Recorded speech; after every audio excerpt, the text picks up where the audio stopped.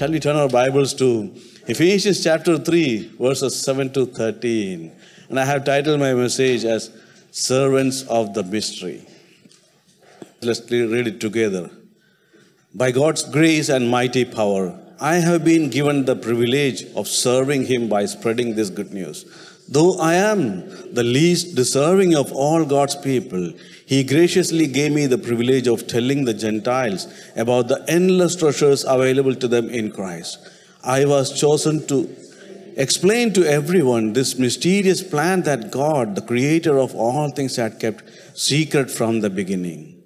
God's purpose in all this was to use the church to display his wisdom in its rich variety to all the unseen rulers and the authorities in the heavenly places. This was his eternal plan, which he carried out through Christ Jesus our Lord. Because of Christ and our faith in him, we can now come boldly and confidently into God's presence. So please don't lose heart because of my trials here. I am suffering for you, so you should feel honored. Hallelujah. You know, a couple of weeks back, we heard from a man of God who said, This is the lighthouse. If you are the lighthouse, and the lighthouse should have a rescue plan. The lighthouse not only shows light to the ship or the people who are going through uh, troubles, but they also will have a rescue plan as well. They will go out and help. They'll have something, you know, some provisions to go out and help the people who are in trouble. Similarly, the Lord expects you and me to be prepared, to be ready to be a witness for Him in the name of Jesus Christ. God's plan of salvation, He fulfills, He uses even us also for what? To help others, to let others hear about it. He already did it. Now it's our responsibility to go out and speak this good news to others. You know, I just heard a man of God say one time, the gospel is called the good news. And he said, you know, why it is called good news? Oh, because it is too good to be true. You know, just think about it. A person who died on the cross, and when you believed on that, you receive your salvation. It's too good to be true to believe in a person who died on the cross and resurrected for you and me. Just to believe on that person gives you eternal life. Is it too good to be true, brothers and sisters? That's our God. That's our Jesus Christ. That's our Creator. Yeah. Last weekend also we heard from our pastor, uh, Safari Paul. We heard that God makes each one of us who were not part, not part of his family to be partakers of the promises of God. And God makes us partakers of his promises through a mystery. A mystery something which was hidden from uh, everyone for a long time. Now, what is a mystery? The Greek word for mystery is mysterion. I, I struggle, you know, to read that word actually. How do I read it? Now, what is mystery? Which means, you know, something that is beyond our natural ability to understand, but revealed by divine interpretation. There's something hidden in the scriptures, but it is revealed to you and me by the powerful, powerful presence of the Holy Spirit. Apostle Paul used that word, mystery, to say that there was something hidden before, but now it is revealed to every one of us. Just think about it. Why it is revealed to us, or how it is revealed to us. Paul himself said in the book of Corinthians that today we have the mind of Christ. And who can know the heart of God? Only those who have the mind of Christ can understand the heart of God. We have the mind of Christ, and He reveals His plans to us. Ephesians chapter 1, verse 13 says, The day you believed in Him, He sealed you and me with the promise of the Holy Spirit. And that Holy Spirit who lives in us and through us reminds us of everything that Jesus Christ taught here in this world. If you have not accepted Him as your Lord and Savior, brothers and sisters, let me tell you, you are missing out on so many things. You are missing out the joy of being in love with Jesus Christ, spending time with Him. I remember, you know, the days before I got saved. I used to be like any other person. But, you know, after I have experienced Jesus Christ in my life, my whole life changed. Earlier, when I sit down to read the Word of God, the Bible, you know, one or two verses, and then you feel like, you know, ah, you want to sleep. You're bored.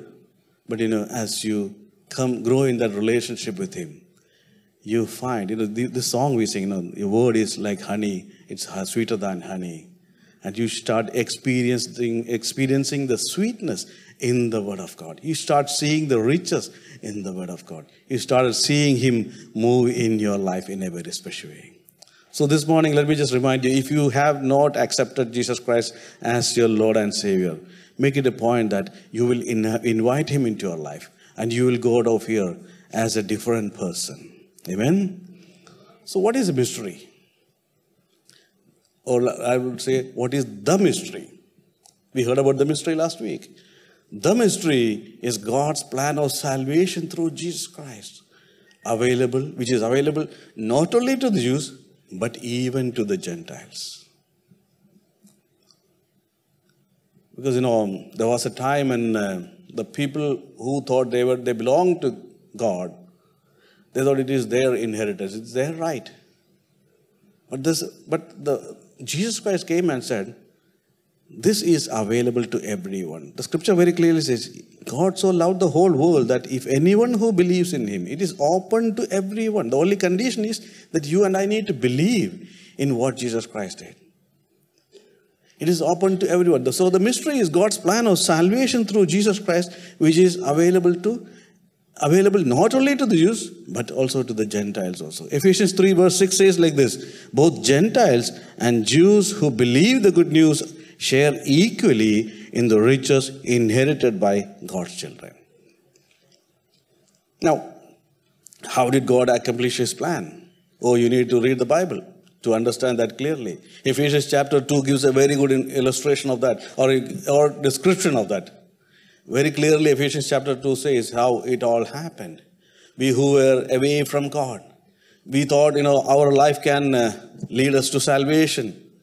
You know, that time, Apostle Paul, who wrote the book, you know, he called you and me, who did not come into the fold of Jesus Christ, he called us, you know, who were dead in sins and trespasses. Oh, those days you were dead in your sins and trespasses. But God took you out of that situation and He brought you into His presence and He molded you and He changed, changed you around. He gave you new, new life. And then He says like this, no, it is not because of something you have done it is the grace of God. The grace of God gave you salvation, and therefore you should not boast about it. There's nothing we can say that it is because of my praise, it's because of something which I have done, I have received this salvation. And you know what God said, you know, to those whom He saved, He's the one who changed us, turned us around, who made, He made us a new creation. Then He said, They are my masterpiece. This is my masterpiece.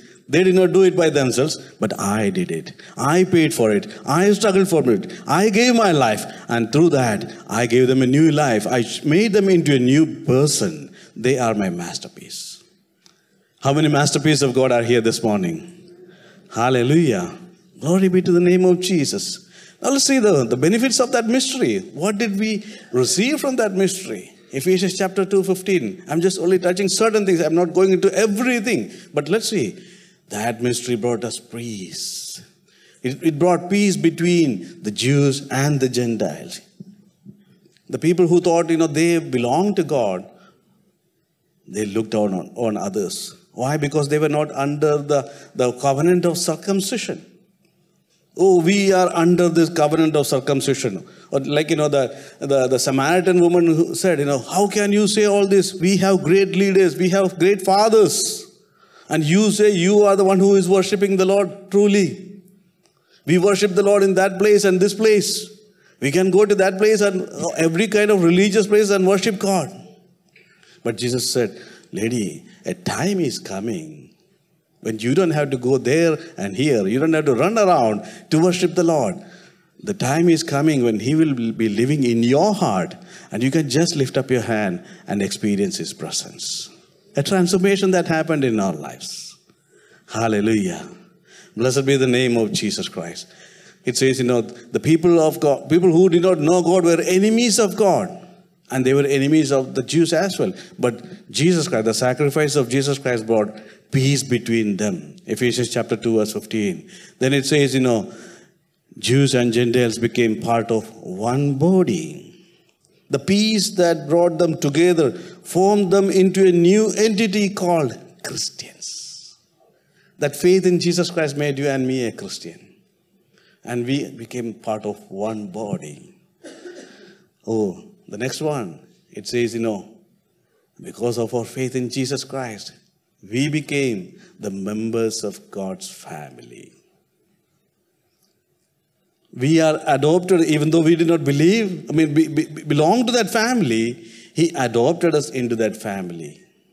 You know, when, we, when a child is adopted into a family, the person who adopts signs a, a certain documents. And on that document, it says, you know, one of the conditions will be like, you know, now from now onwards, everything I have will belong to this child as well because I have adopted it adopted that child. If you have been adopted into the family of God, every blessings of God belongs to you as well.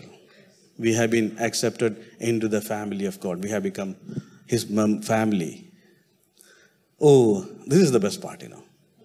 We have become the temple of God. Through our relationship with Jesus Christ, we have become the temple of God. Think about this. What is a temple? The first thing, or let's say, what is a church? Or what is a place of worship? That is where we come together, gather together, and lift up the name of Jesus Christ. Let's say, look at the, uh, the temple like this. Temple is a place where prayer goes on. That's place where people gather together to worship the Lord. Hallelujah. In other words, I would like to say our life should be a life of worshiping God every moment. Psalmist said like this I'll worship the Lord at all times, and his praise shall continually be in my mouth. A temple is a place where the praise and worship of the Lord goes up and always. Then, through that, what happened? We became the dwelling place of God. We have become the children of God because He has made His residence in our hearts. You know, there is a wonderful verse in the book of uh, Romans which says like this, and every creation is waiting to see the revelation of the sons of God, who all are the true children of God. Because everything is going through decay. But there's a day coming when uh, the decay will be gone. Everything will be made perfect. And the, and the entire creation of God is looking to see who truly are the children of God. See, and I, when I said in the beginning, we are the lighthouse. And the tri- lighthouse should have a rescue plan. And we all are in that plan, actually, you know. That rescue team, we all are in that. That is why Jesus said, Go into all the world and preach the gospel to everyone. That is your responsibility and my responsibility to step out of our comfort zone, share the good news to someone, talk to somebody. Amen. So, what does this mystery teach us? Yeah, look at this. Read through it. It very clearly says, We have become the children of God. We became the children of God through our faith in Jesus Christ. Number two, we have put on Christ through baptism, and Christ lives in us.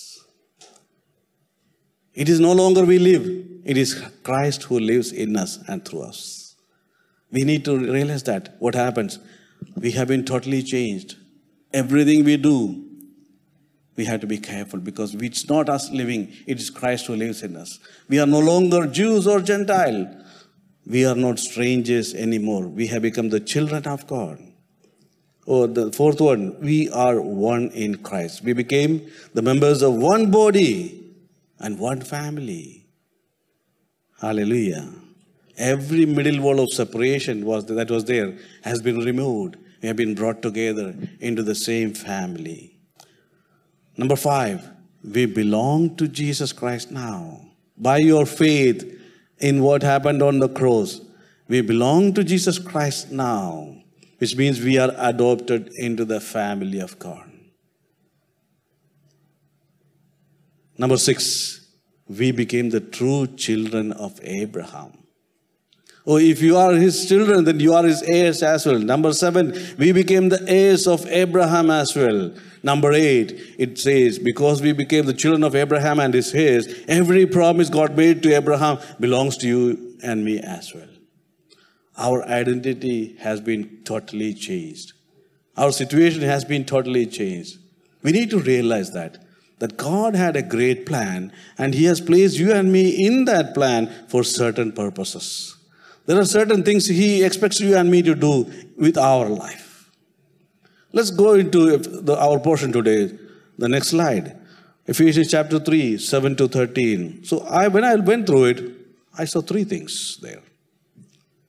Verses 7 to 9 talks about one thing, and then uh, 10 to 11 talks about another thing, and uh, 12 and 12 and 13 talks about another thing. Verses, verse 7 says that we are called to be a minister.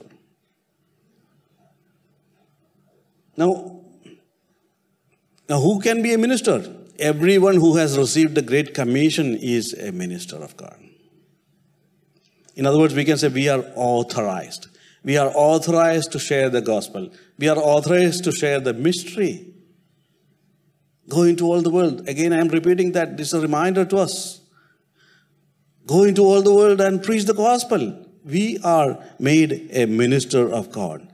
You know, when Paul wrote like this, you know, I have been, uh, uh I am called as a, as a minister.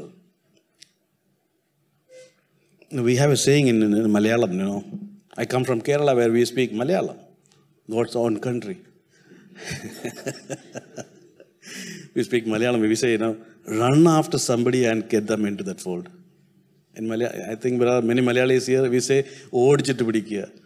You know, Paul was running away from God. He was doing what he liked, but God went behind him because he knew and he saw him from before he laid the foundation of the world and took him and changed him around and used him for the glory of his name. So, everyone who has received the gospel is, you know, a minister. Suppose, you know, you, you, you see, you know, like, you know, people persecuting. There's a lot of persecution happening all around the world for the sake of gospel. Even that is happening in India in a, in a, in a, at a high level for the sake of gospel. But you know, the, the day is coming. The people who are persecuting, those who are ministering, those who are serving the Lord, they will come to the saving grace of Jesus Christ. The day is coming and it's very coming very soon. I remember there's a man of God who was preaching in the northern part of India. And because he was sharing the gospel, the religious people who were there, they turned against him. He was living in a rented house. And one day, the, man, the owner of the house came and told this man, you know, you need to vacate this place because you are speaking about a, a, a foreign uh, God. We don't know that God. So you need to get out of that place. He said, okay, we'll go.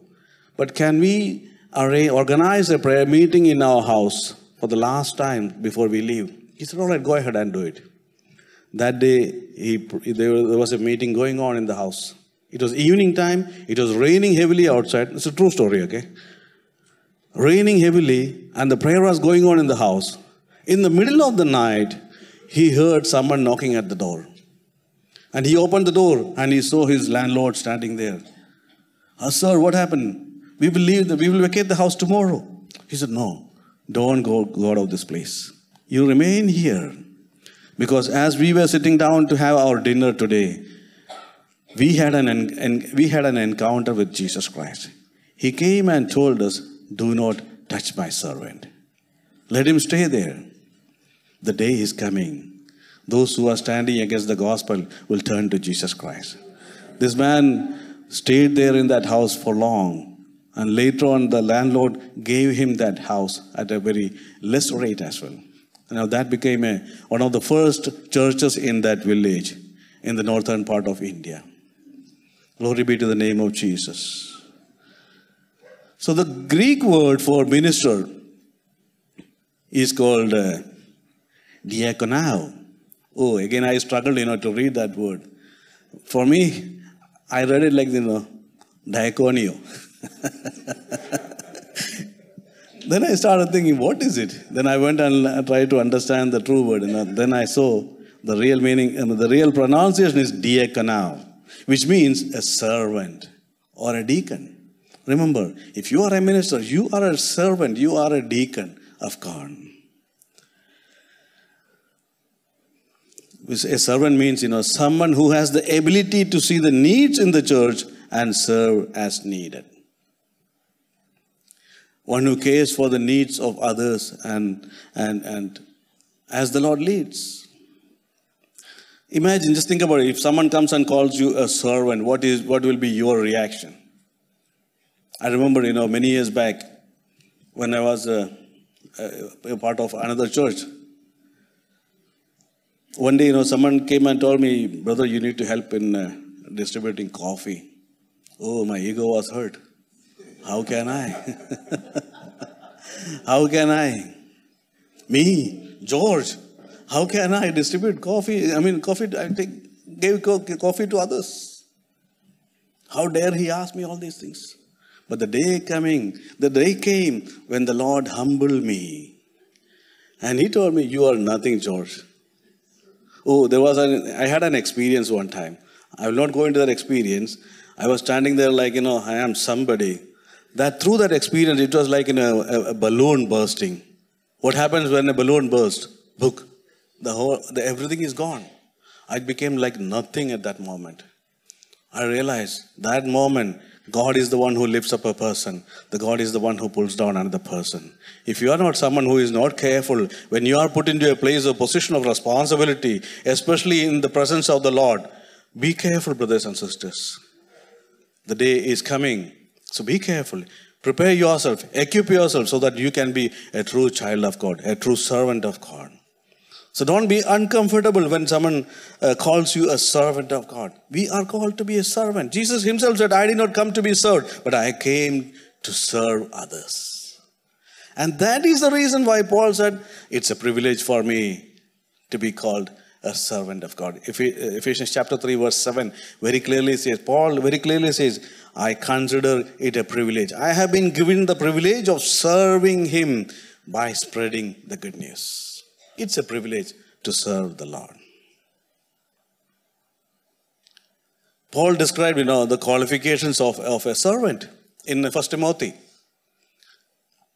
He said, you know, like, you know, a, a, a servant of God should be selfless, should not be self centered, he should be respectable, hospitable, able to teach, he should be gentle, and should have a good reputation as well.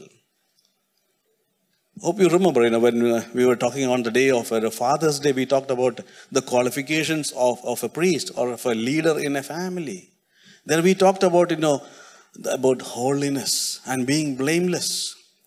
If you are a servant of God, you are expected to be holy. You are expected to be blameless. What is the meaning of holy and, and, and blameless? Holiness is between you and God. It is between you and God be holy as just, just as I am holy. But whereas being blameless between you and the people around you. There should be nothing in your life that people will point fingers at you and say, oh, this man is like that. This man is not good. He is not a true child of God. How can he be a minister of God? We have to be careful because we have been set apart for the glory of his name. It's no longer we live, but it is Christ who lives in us and through us. Everything and anything we do we had to be careful because we should never bring shame to the name of Jesus Christ. So Paul was aware of his past life. And that is why he said, I was worst of the sinners. Now he says, you know, I am an apostle of the Gentiles. I am the apostle to the Gentiles. And he knew he did not deserve it. That is why he said, it's a privilege to serve God. I've been given the privilege. And he, then he said, you know, it is the grace of God who made me a minister. Remember this. Grace of God makes you and me a minister of God. Now, what is grace? Grace is the undeserved favor of God, something which we did not deserve, but He gave us. Because God considered you and me worthy, and therefore He extended His grace towards us through Jesus Christ so that we can be the ministers of that grace. Again, why I am sharing all this, remember that first uh, line over there. We are authorized to share the mystery. We have been given the responsibility of sharing the gospel. If you are thinking, you know, you are better than others, oh, I can do the work of the Lord better than anyone else, let me just remind you that is not because of anything which you did. It was the grace of God made you stand on this pulpit. I should be aware of that the grace of God. There are many who can speak better than me. There are many who are uh, uh, qualified than me. But God had the grace upon me to put me on this pulpit so that I can share the scripture with you, the word of God with you. Every one of us has a calling in our lives. But there is a warning also in here, no? Don't promote yourself at that time. Don't think that you are high. You are, you know, it's because of your ability that you are there on that pulpit. Proverbs chapter 11, verse 2 says, if you are proud, proud about, you know, about your ministry and what you are doing, remember this pride leads to disgrace. A time comes when you will be pulled down. If you try promoting yourself, you think, you know, if you say, oh, it's because of me, it's because of I am, all this, there's a day coming then you will be pulled down, put down. Pride leads to disgrace. Again, let's go to the next slide. Why are we made the ministers, or why are we authorized to share the good news, or why are we made the uh, ministers to spread this good news? Verse 7 says, We are instructed, we are given the authority or the order to spread this good news to others. Next slide, please. Verse 8 says, We have to tell the Gentiles about the endless treasures available to them in Christ. There are blessings hidden in Christ. And that's what we reveal, you know, to others. What, that's what we tell others. Spread good news. Tell others. Verse 9 says, explain to everyone that you and I are placed as a teacher of the word of God. We have to explain that truth to others. We have to spread, we have to tell, and we have to teach others as well. We are authorized to share the good news to others. Amen. Hallelujah.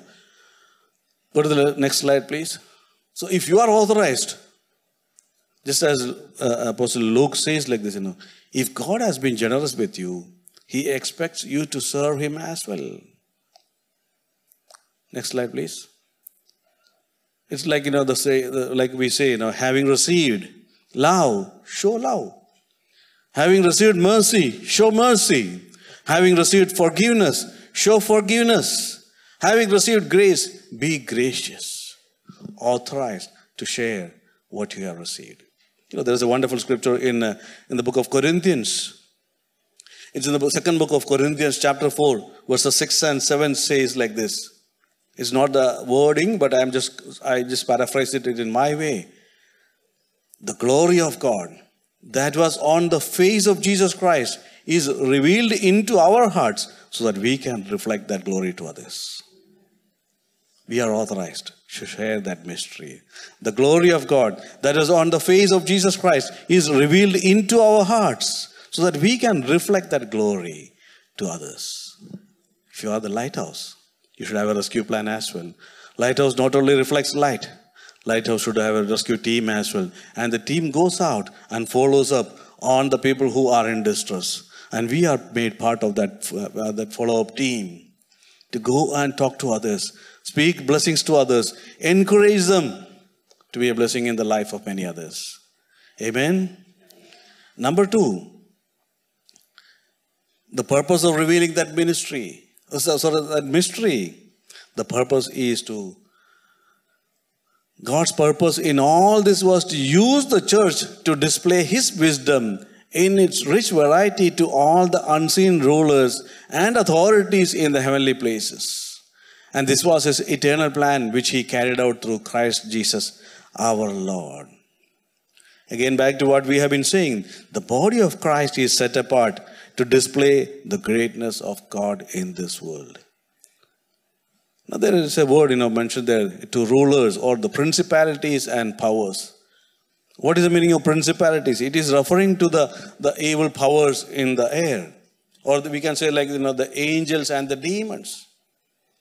Who thought, you know, by killing Jesus Christ on the cross, they thought they have won, they, they have taken over.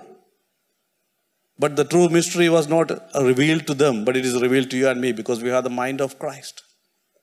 We, and it is revealed to the powers. And this power does not mean, you know, the dunamis power of God. This power refers to the celestial rulers, or, you know, like, you know, the, uh, the archangels, archangels, uh, the demons, and the territorial spirit. All these things. That's why we proclaim, you know, in the name of Jesus Christ, you don't have any authority here. We, we make them know. We have to proclaim it. We have to declare that with our mouth that who Jesus Christ is. I asked this question in the Sunday service the other day. Who is Jesus? Or what do you think Jesus Christ is? We, we have many answers, but more than that, the question we should be asking ourselves is who is Jesus to you? We know who is Jesus. We have learned from the Word of God, but we should be asking ourselves who is Jesus Christ to us? That's again, it's about our relationship with Him.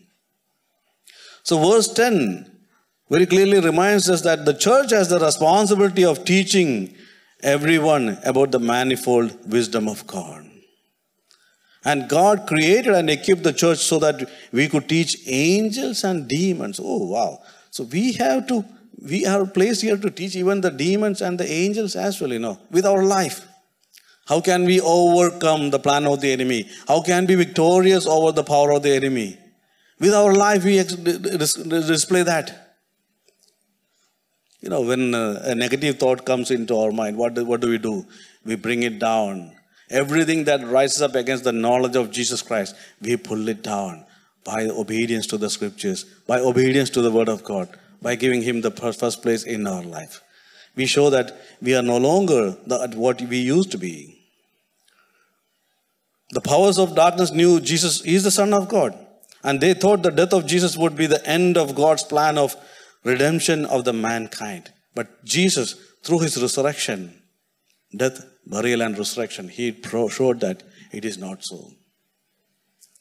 You know, uh, there is this uh, uh, in, the, in the book of Psalms, Psalm 24, there's a scripture saying, uh, um, Open up ancient gates, open up ancient doors, and let the King of glory enter. I just heard a, I heard a man of God say one time, on this. Jesus, after his death, he went down to uh, the, the Hades.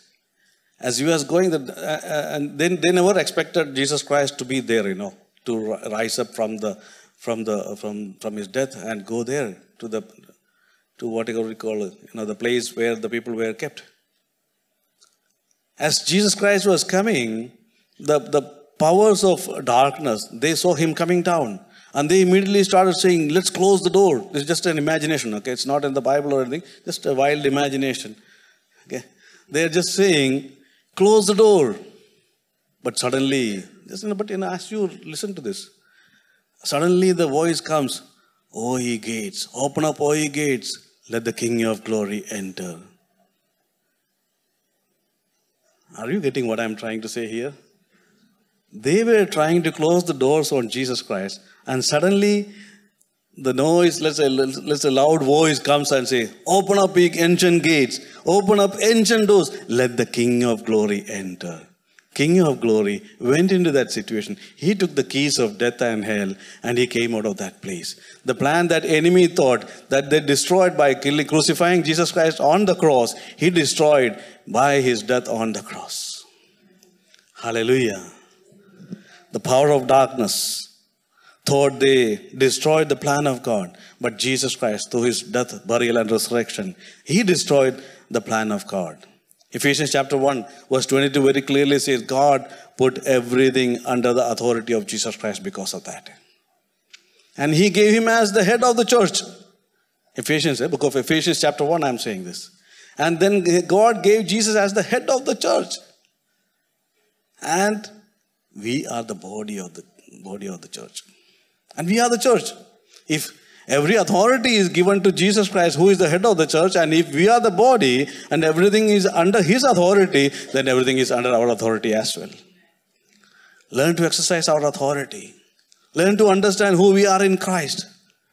The purpose of revealing the mystery, purpose of sharing the mystery is to make others, to equip each one of us to be mature in the Lord, to bring them to the, the salvation, to, to, to, to, let them let everyone know that there is a way. When you say there is no way, we can say that there is a way in Jesus Christ. That role is given to every one of us. A great exchange happened on the cross. Not only he took care of our iniquities, he gave authority, he gave us power, he changed our identity, and he gave us everlasting life. That is why you know we look at the mountain if you have, we have, we have done that many times. We look at the mountain and say, Who are you, mountain, to stand before you? Go in the name of Jesus Christ. From where did you get that authority? Where did you get that uh, authority to speak to the problems in your life?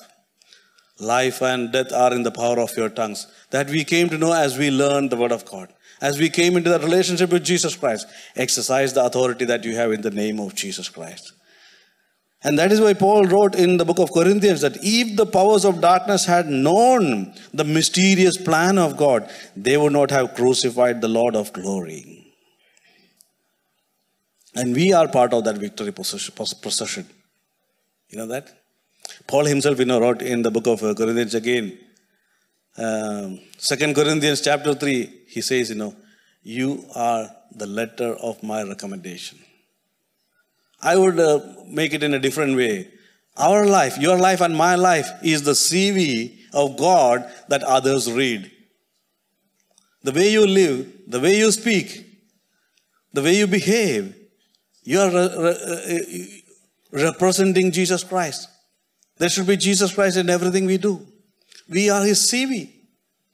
Just as we give or submit our CV to CVs to an, an office when we go for an interview, where we say, you know, like, I have done this and that.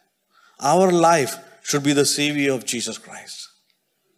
So, number two, the purpose of revealing the, ministry, the mystery so that we can be uh, his masterpiece, we can be his CV in this world. Number one, we are authorized to share this mystery to everyone. Number two, we have a purpose in revealing this mystery. We have to show this to everyone, the people who are living around us as well.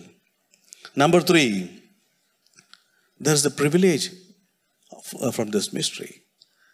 Because of Christ and our faith in Him, we can now come boldly and confidently into God's presence. Oh, this mystery transformed us, changed our situation. Today we can come boldly and confidently into the presence of God because of what happened on the cross. The privilege we have is Jesus Christ uh, the, the confidence we have is Jesus Christ.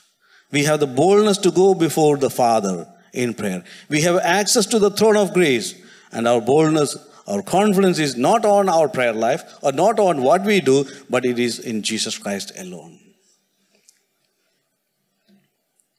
Jesus himself said, I am the way to the Father. I am the only way to the Father.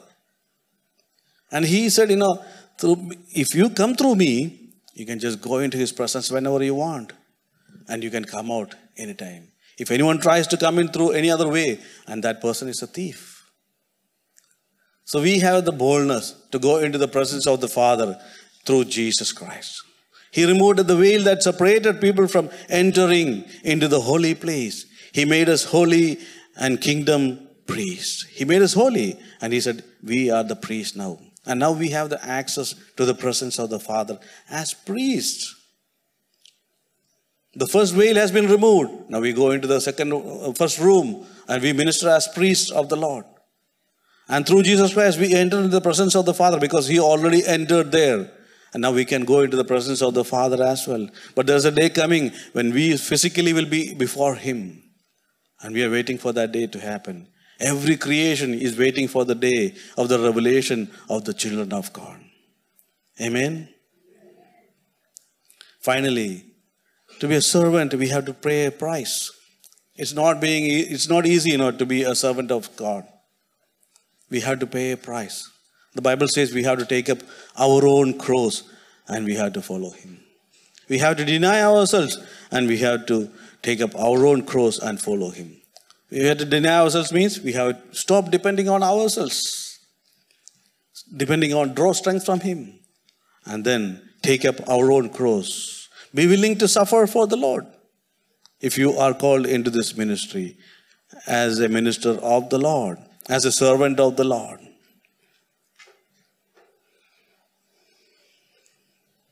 be assured there will be challenges. When you step into the ministry, there will be distractions.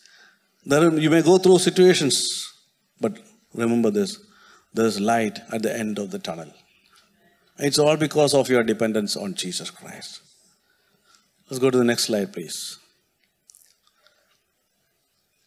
The purpose of the church is to prepare the way for the Lord to establish His kingdom on the earth. The application part. We need to remember this. What do we have to do therefore? Therefore, do not neglect our gathering together. Because you know, we have to be careful, you know, we have to come together and worship the Lord. One of the purposes of coming together in a church is not only just sing some songs and listen to a, message and go home. No, even we have to encourage each other. We have to strengthen each other. We have to build each other. That is one of the purposes of coming to the church. Therefore, do not neglect your gathering together. Encourage each other. Live in harmony and peace. Greet each other as God's people. Pronounce a blessing upon them. And then the grace of the Lord Jesus Christ and love of God the Father and the fellowship of the Holy Spirit will be with us. When we are careful with our spiritual life, with our relationship with the people. First of all, our relationship with the Lord, being holy and then being blameless. Then we can experience the love of God the Father and the grace of the Lord Jesus Christ and the fellowship of the Holy Spirit. And then we can be true witnesses for the Lord. So, three things we saw. Number one, we have been authorized. Remember this every one of us are authorized to share the good news to others. Number two, there's a purpose in sharing this good news to others. We have to witness Him everywhere. The people who are living in darkness shall see the light in us and through us because we are His CV. We are His masterpiece. Number three, there's a privilege in, uh, in, in the, through this mystery that we have to reveal to others that we can go into the presence of the Father boldly because of Jesus Christ. When you read this, put your name there. I have written the uh, scripture there, but when you read that, personalize it and make it yourself. Make it yours. Remember, uh, let's read it together. God has given me, use your name there, okay? God has given George, whatever is your name. God has given me the responsibility of serving His church by proclaiming His entire message to you. This message was kept secret for centuries and generations past. But now it has been revealed to God's people. For God wanted us to know that the riches and glory of Christ are for even for us also. And this is the secret. Christ lives in you. And this gives you the assurance of sharing his glory. Now, verse 28 is very important, what we have been sharing right now. So, we tell others about Christ warning everyone and teaching everyone with all the wisdom God has given us. Why? We want to present them to God perfect in their relationship to Christ. That is the calling of each one of us, brothers and sisters. That is the entire purpose of all this. Paul took time to speak to the people of God who thought them, who consider themselves Christians, that there are certain riches and blessings for being a child of God, which they did not realize. So Paul explained to them that every blessings in heavenly places has been given to you. And he said, the same power that raised Jesus Christ from the dead is living in you. And God Himself changed you around to be a new creation. And God calls you His masterpiece. And God has placed you as His CV or as His people who represent Him in this world. And then we saw in chapter 3 what are the responsibilities of a born again child of God? That we have to be a true witness for Him. We have to display and we have to tell others the purpose of the uh, of serving Jesus Christ. Then we have to tell them about the privilege of serving Jesus Christ and going after Him. This morning, if you are sure of that, if you know, if you understood what the Lord of, Word of God tells us, let's thank the Lord for, for a minute. Lord, we thank you for this morning, Lord. For reminding us, Lord, about the purpose of the mystery which you revealed to us, Lord. Something which was hidden for generations, but Lord, today we understand that you have revealed it to us through your Holy Spirit. And Father, you have made us partakers of your glory. And this morning, this is our assurance that Christ, the hope of glory, lives in us. Therefore, we can be with you in glory one day, Lord. Lord, we understand that the entire creation is waiting for the manifestation of the children of God. And we, be, we understand that, Lord, that because of your presence in our life, because of our obedience to your instructions, Lord, we will be standing there with you, Lord. And we thank you for the transforming power in our lives. Father, help us to be careful with our lives. Help us to be a true witness for you. Help us to walk out of here with, with boldness, Lord, and share the good news to others as well, Lord. We just praise you, Master. We thank you, Lord, for speaking to us this morning. In Jesus' name we ask and pray. Amen. Praise God.